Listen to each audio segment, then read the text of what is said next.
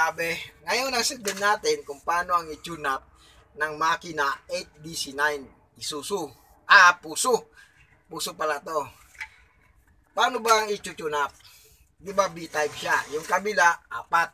Apat na silinder. Yung kabila din, apat na silinder. Una-una, ang gagawin mo, kukunin mo yun paring order ng makina. Mostly, karamihan sa makina ng 8DC9, ito yung firing order niya. Yun sa taas. Ito sa taas. Yan ang firing order niya. Normal na firing order. Gagawin mo, para makuha mo ang running mate, hahatiin mo tong kalahati. Ito dito, ilalagay mo dito sa harap. Ito naman, lalagay mo dito sa likod. O, Hatiin mo siya. Yun sa baba, yun ang magiging running mate niya. Sa taas, yun ang itatap mo nakuha mo na, at least nakuha mo na, nakuha mo na yung chart niya. Ngayon, paano mo naman ma-apply doon, may tune up yung makina.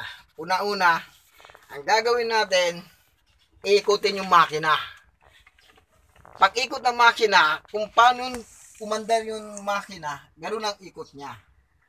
First, itatap natin ng number 1. Saan ka titignan kung naka number 1 siya?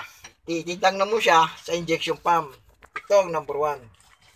Yan ang araw niya. Ibig sabihin, number one siya. Yan. Pag tumama dyan sa araw, nakatap dead and center siya. O, ano? Ibig sabihin, kung titignan mo, ito number one. Injection pump. Dito siya tatama sa number one. Kasi nakataas tong piston. Para sigurado ka nakataas ang piston, papasukan mo siya ng stick at pakiramdaman mo kung nakatutok siya number 1. Ibig sabihin, nakakuha siya ng number 1 niya, nakataas. Yun, number 1 na yun. Gagawin mo naman nun, i, yun, in, itong rocker arm, up mo na siya. Itong number 1 na piston.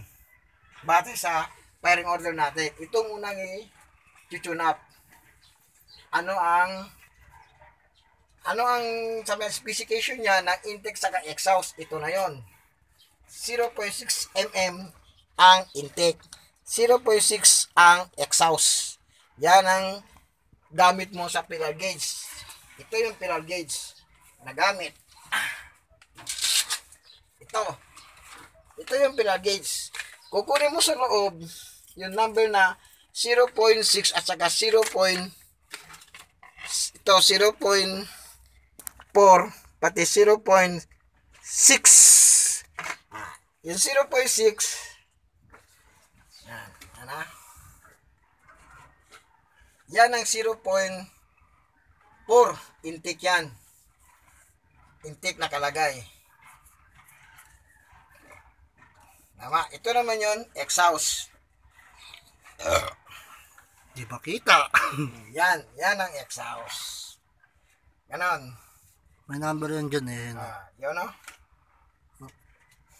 Din. makita eh. Tapos no, example, i-tune up mo na. Gagamit ka ng isang backring na 14. Backring na 14, ito kasi sa intake. Tignan mo, makikita mo yung butas niya, malapit siya sa butas ng intake manifold. Yan ang naka-intake. Diyan, ang intake, ang intake na valve clearance siya ng MM, ito ang gamit mo. Papasok mo siya dito, magitan ng rocker arm at saka barbula, yun, pag ganun, ipasok mo siya. Clutch 2. Ito, itong clutch eh, 2, iganon mo siya, eh, ipasok mo to dito. Sira pala itong clutch 2 mo eh. Ah, ah. Cut mo.